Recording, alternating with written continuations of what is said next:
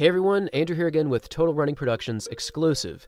And today we're going to talk about cheating. We're going to be talking about drug use in sports. Yes, it is the time to talk about steroids, performance enhancing substances, and we're going to relate these all to world records in athletics.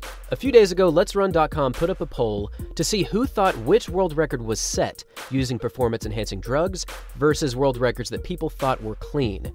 These are the top tier performances in every single event over the past 30 or even 40 years. And the results, let's just say this the results are not surprising. Here's a look at some of the top world records that people think were set using drugs. At the very top, we have the 1985 world record in the women's 400, and tied at 93% of votes, we have the 1983 world record in the women's 800 meters. This is not surprising. These are probably the two most likely world records that were set with drugs.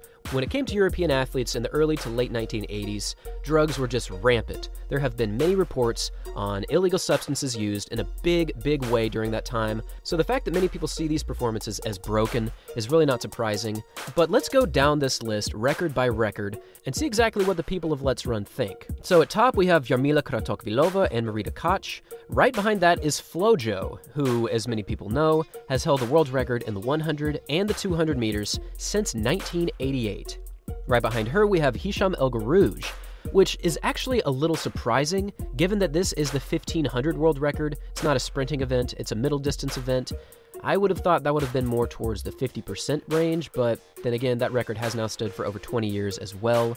Right behind Hicham El Guerrouj, we have the 3,000 meter steeplechase record, and that is at 69%. 69% of people think that this world record was with illegal substance abuse. So, very interesting at these top five positions, but let's work our way down. Oddly enough, right next to Shaheen is Beatrice Chepkoech, who in the women's 3000 steeplechase received a 62% amount of votes of people who think she cheated. Next, we've got Genzebe Dibaba in the women's 1500, and then we have our first marathon world record. Brigid Kosgei at 52%, who holds the world record at 2 hours, 14 minutes, and 4 seconds. And I feel like this part of the voting system might be a little bit biased. As many of you might know, this season, a lot of negativity has come out of the country of Kenya, as more than 60 people have been found to have used performance enhancing drugs, and the vast majority of these individuals are endurance athletes such as marathoners, half marathoners. So I'm thinking this record from Brigid Kosgei is a little bit biased towards a selection process of people who already know about Kenyan athletics. Beyond Brigid Kosgei, we have Tobi Amusan in the women's 100 hurdles at 46%, and this is the point when you get under the 50% of votes.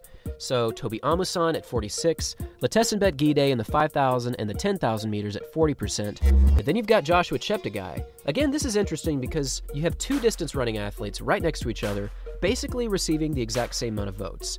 So Cheptegei at 39%. And then, ladies and gentlemen, we have Usain Bolt at 32%. This is a huge difference from Florence Griffith Joyner, who received 91% of votes.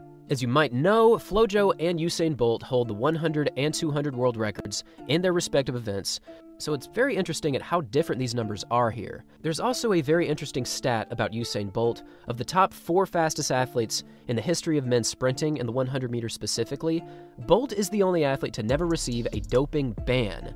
So I guess it's no surprise that it's rather low, because the knowledge about his clean testing over the years is pretty high actually. Right next to Usain Bolt, we have another GOAT, and that's Eliud Kipchoge in the men's marathon, receiving 31% of votes. I found this voting number specifically interesting because we have a lot of positivity surrounding Eliud Kipchoge and we have a lot of awareness about his training. We had a full documentary made about him, an actual movie. So, for a lot of people, their emotional investment in Kipchoge being clean is through the roof. Just imagine if Kipchoge was found to have been doping. The entire track and field world and distance running landscape as we know it would fall out from under our feet. There would be a huge backlash, and track and field would suffer. That's just the facts. Moving on to our final five, we have David Rudisha at 27%, Aries Merritt at 27% as well, Karsten Warholm at 26%, Wayde van Niekerk in the men's 400 meters at 24%, and the world record that currently stands with the least amount of suspicion is actually Sydney McLaughlin in the women's 400 hurdles, who only received an 18% positivity that she was using PEDs. I find these votes very, very interesting, and there's probably a lot of skepticism towards more world records as well during the indoor scene, and there's definitely world record skepticism when it comes to the field events. But for these specific running events, it's very interesting to see. A lot of times, it's really the older world records that receive the most skepticism, and towards the newer world record set, such as McLaughlin's in 2022, Warholm's in 2021, and even Kipchoge's world record last year in 2022, usually receive the lowest amount of skepticism. Anyways, this is very interesting to me. I think it does do a good job at showcasing where a lot of people's thoughts are surrounding world records at the moment, and it does showcase that the longer a world record sticks around, the more skepticism and uncertainty surrounds it. So, anyways, I would love to know what you guys think about this. Where does your heart stand with world records that stand? Do you think any of these are truly legitimate? Do you think many of them are objectively negative? I would love to hear your thoughts in the comments down below. Anyways, guys, that's about it. See ya.